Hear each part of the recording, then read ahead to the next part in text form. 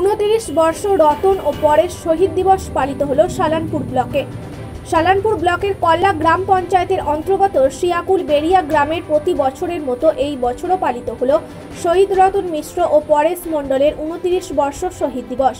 প্রথমে নেতাজি কলোনিতে স্বর্গীয় রতন ও পরেশ শহীদ বেদিতে পুষ্পার্ঘ্য নিবেদন করেন বারাবণী বিধায়ক তথা মহানাগরিক মেয়র বিধান উপাধ্যায়। তারপর মাল্যদান করা হয় শিয়াকুল বেরিয়ার শহীদ রতন ও পরেশের শহীদ মূর্তিতে।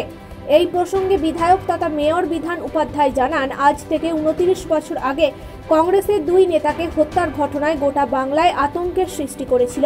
সেই সময় কংগ্রেসের সমস্ত লোক প্রচণ্ড শোকে ভুগেছিল।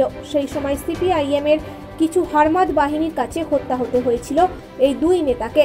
তাদের দেখানো পথে এখনও আমরা চলি। তাদের এই অবদান কোনোদিনও ভোলা যাবে না। তাই প্রতি বছর আজকের এই দিনটা পালিত করা হয়।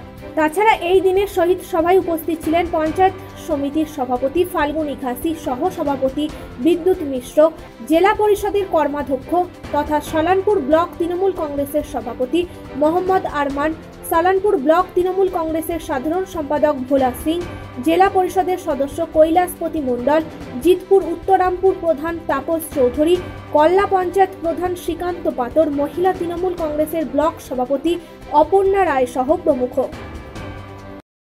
আজকে উনত্রিশ বছর।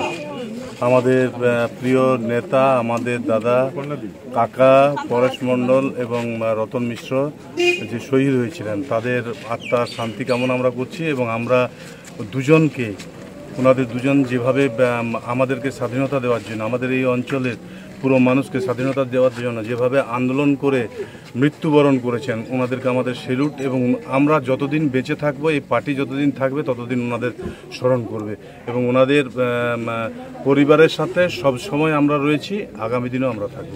Soumitra Ganguly, report, Times Bangla.